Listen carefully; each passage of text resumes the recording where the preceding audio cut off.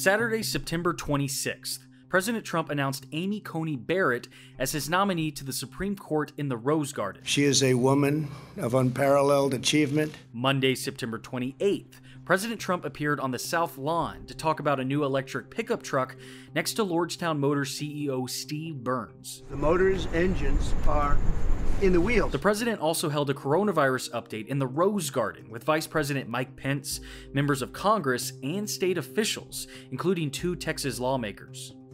Tuesday, September 29th, President Trump, the First Lady, and staff, including senior advisor Hope Hicks, flew to Cleveland on Air Force One. By the way, he doesn't know how. That night, it was reported both President Trump and Joe Biden were tested for the virus before the presidential debate. However, on Friday afternoon, Chris Wallace reported that President Trump arrived at the debate too late to get his COVID 19 test. Wednesday, September 30th, President Trump flew to Minnesota, where he had a private campaign event before a rally at a local airport. Hello, everybody. Hello, Duluth. That night, Hope Hicks started showing coronavirus symptoms. She was quarantined during the Air Force flight back to DC.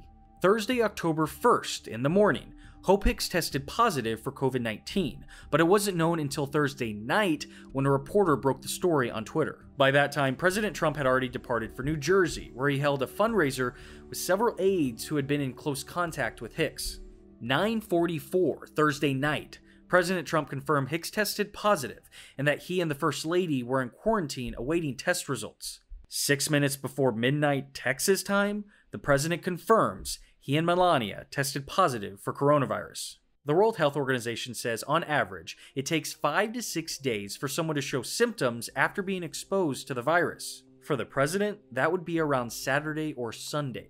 Five people who went to the president's Supreme Court nominee event back on Saturday, September 26, have since tested positive for coronavirus, including Notre Dame President Father John Jenkins and Utah Senator Mike Lee. Then, late Friday afternoon, President Trump was moved to Walter Reed Army Medical Center on the advice from doctors.